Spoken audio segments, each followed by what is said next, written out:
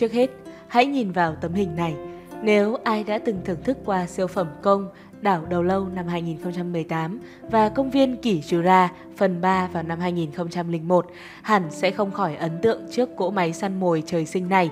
To xác, nhanh nhẹn, hung tàn, không ngại và chạm là những từ hoàn hảo để mô tả về cơn ác mộng vùng đầm lầy. Bậc thầy phục kích khủng long gai Spinosaurus, cánh buồm chạy dọc sống lưng nó, chính là lá cờ báo tử dành cho những kẻ nào bị nó phát hiện, đặc biệt là mấy con cá. Tuy nhiên, ngày hôm nay, nhân vật chính không phải là anh chàng Spinosaurus mà là một kẻ cũng từng bị hiểu nhầm và sở hữu cánh buồm tương tự. Chúng đến từ thời đại cổ xưa, cách thời đại của khủng long hơn 200 triệu năm. Mình là Lẻn đây, rất vui được gặp lại các bạn trên hành trình tìm hiểu kỷ Permi. Hôm nay, mình sẽ dẫn các bạn đi tham quan một trong những loài ăn thịt mạnh mẽ nhất của thời đại. Sinh vật khiến cho vô số người trần mắt thịt ngạc nhiên khi biết về thân phận thật sự của nó. Chào mừng đến với tiêu điểm sinh vật Dimetrodon. Nhìn là bò sát nhưng không phải bò sát.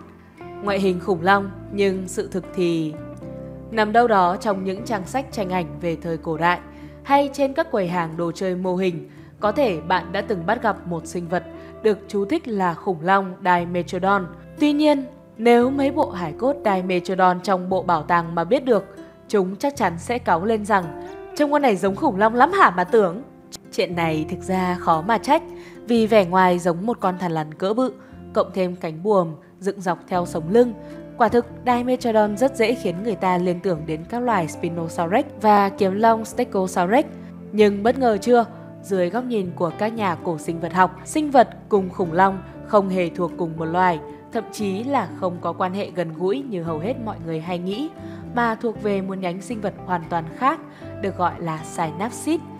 Lý giải khác biệt Căn cứ theo giám định niên đại trên các hóa thạch thu được, cũng như nghiên cứu về kỷ địa chất, các nhà khoa học xác định được rằng những con khủng long đục nghĩa đầu tiên như loài Eraptor xuất hiện vào khoảng giữa hoặc cuối kỷ Tam Điệp, trong khi loài Dimetrodon đã xuất hiện từ đầu kỷ Permi và đã tiệt chủng trong sự kiện đại diệt chủng hay vụ tiệt chủng kỷ Permi Triad, nghĩa là khoảng thời gian từ khi con Dimetrodon cuối cùng ra đời cho đến khi con khủng long đầu tiên là Elraptor được sinh ra, cách nhau khoảng 40 triệu năm.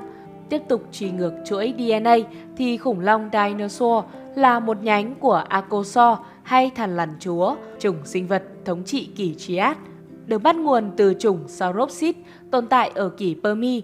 Ở phía còn lại, Dimetrodon thuộc chủng Synapsid, Sauropsid và Synapsid là hợp lại với nhau tạo thành tetrapod, tạm hiểu là những sinh vật có xương sống di chuyển bằng bốn chân. Trong đó, Sauropsid là tổ tiên của các loài bò sát, còn Synapsid là tổ tiên của các loài thú. Đặc điểm có lẽ là quan trọng nhất để xem Dimetrodon là một phần của Synapsid chứ không phải nhánh còn lại, chính là sự xuất hiện của cái gọi là temporal opening, tạm dịch là hốc thái dương. Hốc này tồn tại ở phần trên của hộp sọ, phía sau hốc mắt, bên dưới hốc mắt và xương vẩy. Cách đó không xa là nơi quay hàm dưới gắn vào. Tác dụng của chúng, theo các nhà khoa học, là để liên kết hàm trên và hàm dưới tốt hơn, tăng hiệu quả nhai nuốt. Trên cơ thể của tất cả các synapsid và cả hậu duệ của chúng đều mang đặc điểm này, như là minh chứng của câu con nhà tông không giống lông cũng giống cánh. Đến gần 300 triệu năm sau, các loài thú, kể cả con người vẫn duy trì tồn tại ấy trên bộ xương của mình.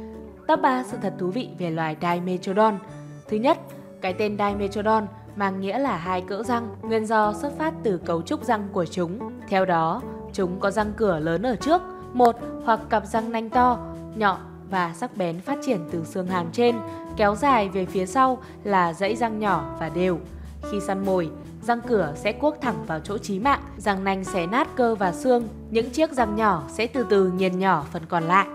Thứ hai, không ai biết chính xác cánh buồm trên lưng đai Metrodon có tác dụng gì. Suốt một thời gian dài, người ta tin rằng cánh buồm trên đóng vai trò như máy điều hòa của đai Metrodon, Tuy nhiên, khi so sánh với các loài vật khác thì điều này khá vô lý vì cấu trúc của buồm này hầu như chỉ có xương chứ không có nhiều mạch máu nên công năng điều hòa có lẽ là bằng zero. Ngay cả nhà cổ sinh vật học Edward Drinkerkopf người đầu tiên tiến hành nghiên cứu hóa thạch Dimetrodon cũng không thể hiểu nổi tác dụng của nó là gì. Ban đầu, ông vốn cho rằng Nó có chức năng như mào của loài thằn lằn basilisk là để hỗ trợ rẽ nước khi bơi. Đặc điểm này cũng tồn tại ở loài khủng long Spinosaurus được nhắc đến ở phần đầu video, nhưng Dimetrodon thì không phải là loài sinh sống hoặc có thói quen săn mồi ở vùng nước, nên kết luận được chấp nhận rộng rãi ngày nay là cái mào chỉ có chức năng oai để hù dọa kẻ thù hoặc quyến rũ bạn tình. Thứ ba, Dimetrodon từng được coi là một loài bò sát.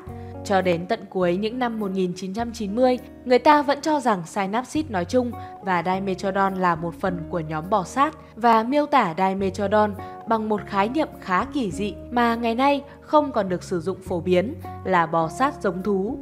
Nguyên do vì mô tả ban đầu của Dimetrodon là một sinh vật giống thằn lằn, có vảy, răng nhô ra giống cá sấu, tư thế bước đi theo kiểu nằm dài với bốn chân bệnh sang ngang với buồm trên lưng giống với một số thằn lằn hiện đại. Phải đến đầu thế kỷ này, các nhà khoa học đã thay đổi cách phân loại sinh vật, chuyển sang truy ngược từ các hậu duệ còn sống sót đến ngày nay của chúng, thì Synapsid, trong đó có Dimetrodon, mới được tách hẳn ra khỏi nhóm bò sát để chuyển sang lớp thú.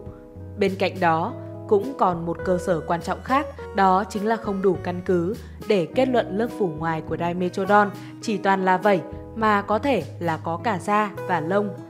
Hậu duệ của Dimetrodon trong phim tài liệu Working with Monster của BBC, họ cho rằng Dimetrodon đã tiến hóa thành các loài Therapsid, trong đó có nhóm Gorgonopsid, và họ cho rằng chúng là tổ tiên của động vật có vú. Điều này là không hợp lý, bởi Dimetrodon là một loài trong nhánh Spenapgodontidae, còn Gorgonopsid là hậu duệ của loài thuộc nhánh Therapsid và chúng cùng tổ tiên với Spenapgodontidae và nhóm Gorgonopsid lại càng không phải là tổ tiên của các loài động vật có vú.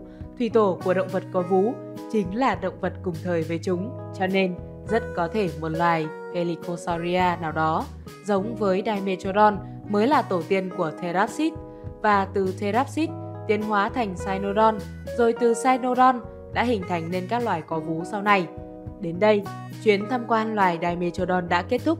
Hy vọng rằng các bạn đã biết thêm nhiều điều về một trong những loài ăn thịt đỉnh cao của kỷ Permi và không còn nhầm lẫn rằng chúng là loài khủng long nữa. Chào tạm biệt và hẹn gặp lại lần sau. Còn bây giờ, nếu bạn thấy thích nội dung này, đừng quên bấm like, subscribe cho chúng mình và nhấn vào chuông thông báo để không bỏ lỡ các video sắp tới. Ngoài ra, các bạn có thể ủng hộ cho chúng mình trực tiếp thông qua phần thông tin ở phần mô tả. Còn bây giờ, xin cảm ơn vì đã lắng nghe và xin hẹn gặp lại trong những lần tới. 拜拜。